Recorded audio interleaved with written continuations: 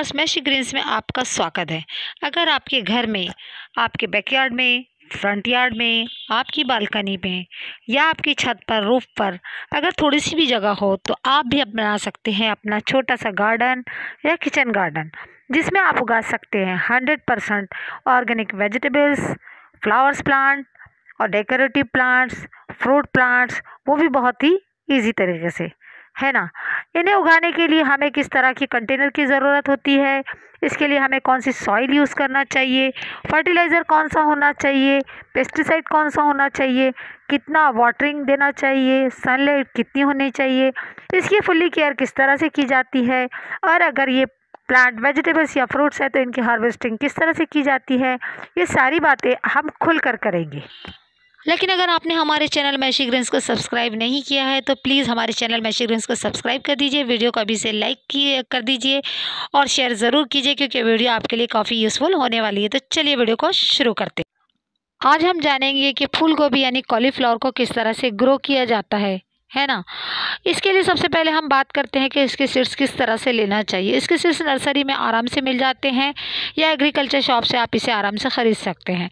Generally हमें इसे hybrid के ही सीड्स यूज़ करना चाहिए, क्योंकि हाइब्रिड्स के जो सीड्स होते हैं, इसके प्लांट जल्दी ग्रो हो जाते हैं, इनमें डिसीज़ कम लगती हैं और इसका मेंटेनेंस भी बहुत ही लो होता है है ना?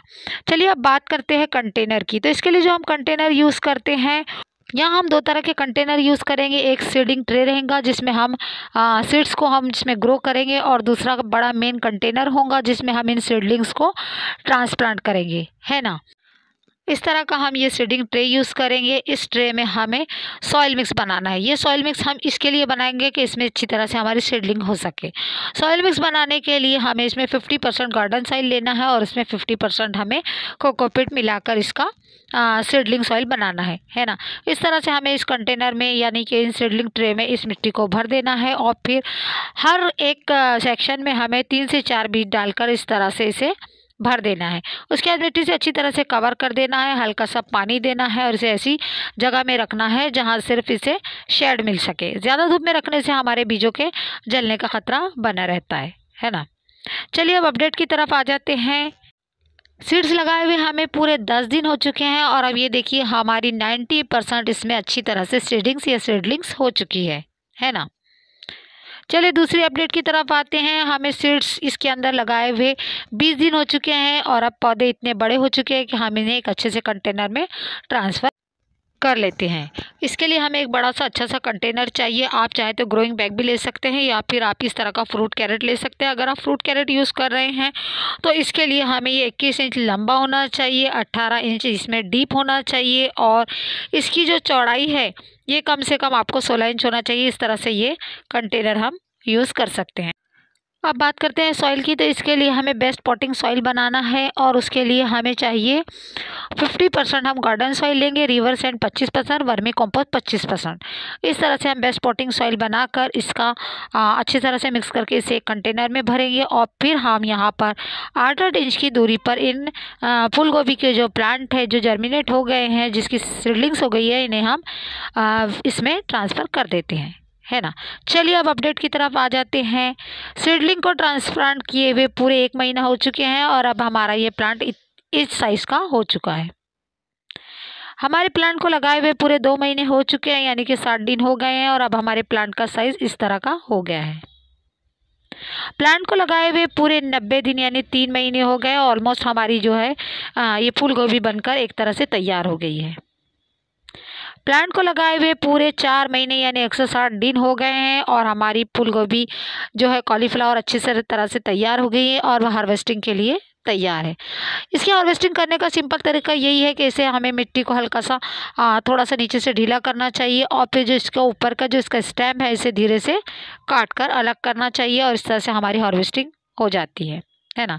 चलिए अब बात करते हैं कि इसके लिए हमें कितने पानी की ज़रूरत होती है इस प्लांट के लिए। तो पानी का ऐसा है कि इसे बहुत ही कम इसे पानी देना चाहिए, ज़्यादा वाटर लेकिन प्लांट नहीं होता है। इसके लिए हमें उसी वक्त पानी देना चाहिए जब इसकी मिट्टी हमें सूखी दिखाई दे, यानी कि हमें इसे एक अल्टरनेट डे पर ही पानी देना चाहिए, है ना? अब बात करते हैं सनलाइट की। तो सनलाइट इसके लिए हमें भरपूर सनलाइट की ज़रूरत होती है। इसे ऐसी जगह रखें जहाँ इसे छः से आठ घंटे की आराम से धूप मिल सके। है ना? अब बात करते हैं फर्टिलाइज़र की। तो ये ज़्यादा हैवी फीडर प्लांट नहीं होता है फिर भी अगर आप इसको फीडिंग कराना चाहे तो आप इसे liquid fertiliser organic liquid fertiliser दे सकते हैं। इसके लिए हमें वर्मी कंपोस्ट का लिक्विड फर्टिलाइज़र या कॉडंग कंपोस्ट का या मिक्सिंग दोनों का, का लिक्विड फर्टिलाइज़र दे सकते हैं, है ना?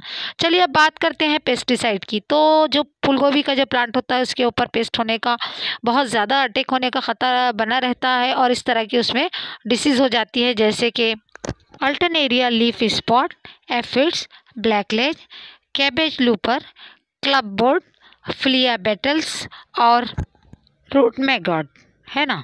इनसे बचने का उपाय ये है कि हमें इस पर पेस्टिसाइड का स्प्रे करना चाहिए। इसके लिए हमें क्लोरीपायरोफॉस ट्वेंटी परसेंट का स्प्रे बनाना चाहिए। इसे बनाने का तरीका ये है कि हमें एक लीटर पानी में पाँच एम एल क्लोरीपायरोफॉस का आ, मिक्सर डालना चाहिए लिक्विड डालना चाहिए और फिर इसे अच्छी तरह से मिक्सर बनाकर पौधों पर महीने में एक बार इसका स्प्रे करना चाहिए। स्प्रे करते टाइम सिर्फ़ इस बात का ध्यान रखें कि स्प्रे हम फल यानी कि कॉलीफ्लावर पर ना डालें बल्कि इसे नीचे रूट्स में और पत्तों पर ही स्प्रे करें। इससे इन फूल गोभी में लगने वाली इस तरह की जितनी बीमारियाँ हैं, जैसे कि पत्तों का पीला पड़ना, पत्तों में काले छेद पड़ जाना या फूल गोभी में इस तरह की फंगस होकर पौधे का सड़ जाना, ये सारी डिसीज से हमें राहत मिल जाती है है ना? तो बस आज की वीडियो में इतना ही, मिलते हैं फिर किसी नई वीडियो के साथ, तब तक के लिए thanks for watching God bless you bye